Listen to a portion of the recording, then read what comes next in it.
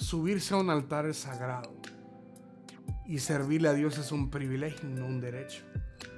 Y por esa razón, si no vas a dar lo mejor, no lo hagas. Dios proveerá. Dios siempre tiene a alguien que está listo y que está adecuado para la situación. ¡Wow! ¡Qué palabra! Él es Alex Soto, un amigo con un inmenso talento. Él no te lo diría, pero es un excelente cantante, pianista y director musical.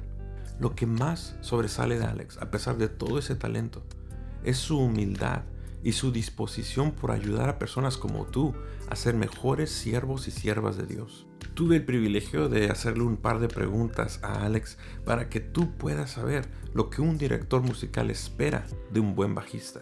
Así que abre tu corazón. Recibe los consejos que él tiene para ti porque yo creo que valen oro. Déjame saber en los comentarios cuál fue tu favorito y qué es lo que piensas trabajar comenzando hoy. Cuéntanos un poco de tu historia. ¿Cómo comenzaste la música? Mira, siempre me ha gustado la música desde muy pequeña edad, pero no comencé a tocar un instrumento hasta los, hasta los 13 años. comencé con una guitarra primero y no, como que no conecté bien con el instrumento. Y siempre me había gustado el piano, así que intenté tocando el piano y a los 13 años eh, descubrí que me, me, me fascinaba, ¿no? tocar el piano. y ahí fui, ahí es como comenzó mi historia. ¿Cómo estás usando tus talentos al momento? Actualmente soy el director musical de Iglesia La Red aquí en Houston, Texas. Y también soy el director musical de Red Worship y el productor también ah, de Red Worship.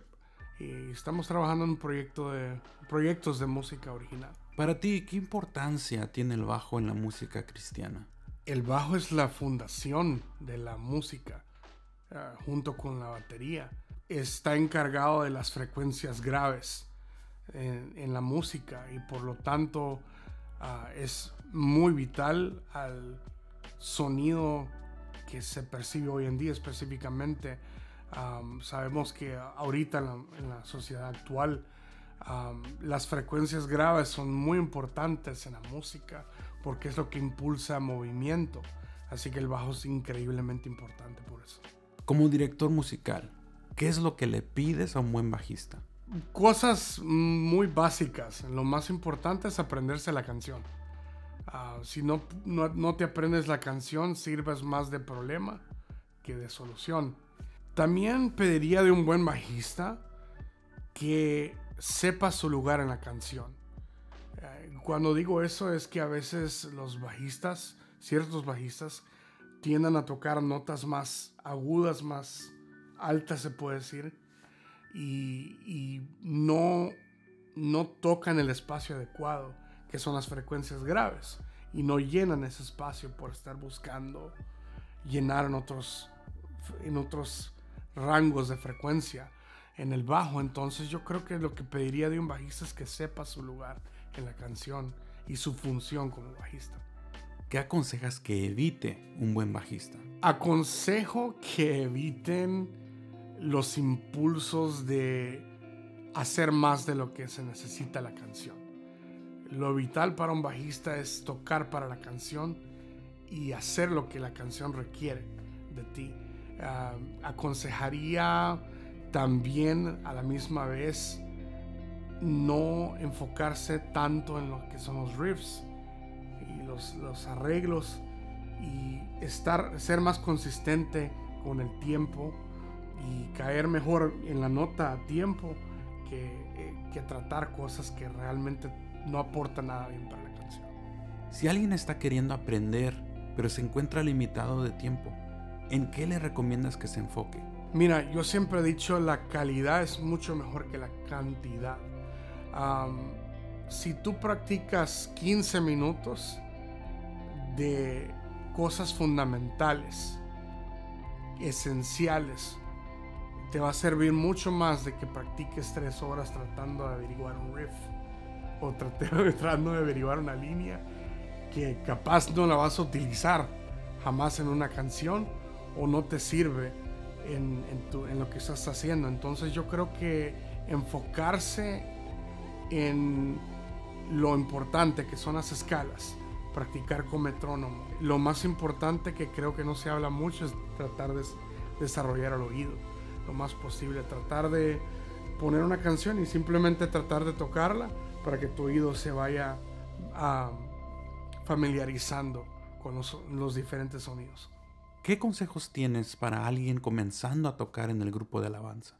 Mira, el consejo más grande que puedo darle a una persona que está comenzando es que antes de tocar, antes de subirse al altar, que ore mucho y que se pregunte muchas veces, ¿esto es, ¿es esto lo que yo quiero?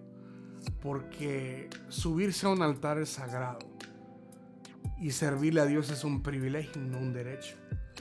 Y por esa razón, si no vas a dar lo mejor, no lo hagas. Dios proveerá. Dios siempre tiene a alguien que está listo y que está adecuado para la situación. Pero obviamente con esto no quiero desanimar a nadie a que se una, pero más pregúntate, ¿es esto lo que yo quiero? ¿Estoy apasionado por, por, por querer comenzar esta aventura de, que, de, tocar la música? ¿O simplemente es una emoción? emoción sin compromiso es simplemente emoción. ¿Tienes alguna experiencia positiva con algún bajista con quien trabajaste? Fíjate que las mejores experiencias que he tenido con los bajistas que he trabajado son con los bajistas que han sabido discernir que menos es más.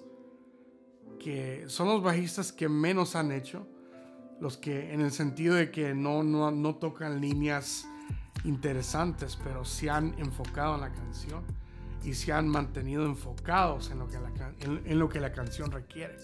Yo creo que con ese, esos bajistas eh, son los que yo más he disfrutado uh, trabajar. En tu experiencia, ¿cuánto tiempo crees que se tome de ir a cero a poder tocar en un grupo musical? Mira, tomará el tiempo que, sea necesario. Uh, si el tiempo es tu preocupación, es, tu corazón no está en, en el lugar correcto. Tienes que enamorarte de la aventura, tienes que enamorarte del proceso. Solo de esa manera vas a poder no solo llegar a tocar en un altar, sino también ser exitoso en el altar. En el sentido de que vas a servir para bendición y no para distracción.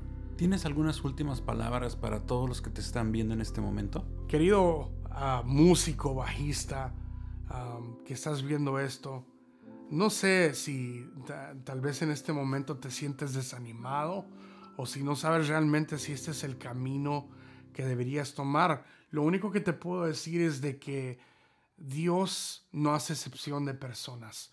Dios puede usar a cualquiera. Y ah, una de las historias de la Biblia que más me impacta es la historia de Jesús, el primer milagro de Jesús, cuando Él convirtió el agua en vino.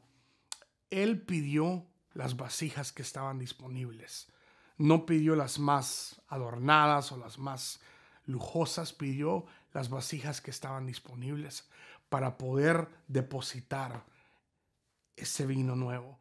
Y lo único que te puedo decir es que si estás disponible, Dios está dispuesto para usarte, pero tienes que disponerte para su servicio y enamorarte del proceso y aprender de que los tiempos de Dios son perfectos. El apurado eres tú, no Dios.